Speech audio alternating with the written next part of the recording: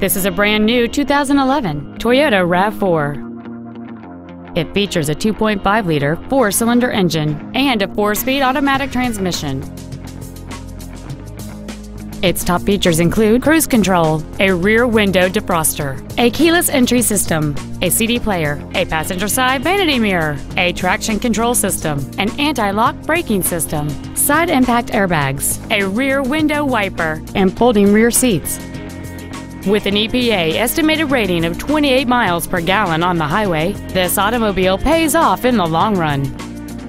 This automobile won't last long at this price. Call and arrange a test drive now.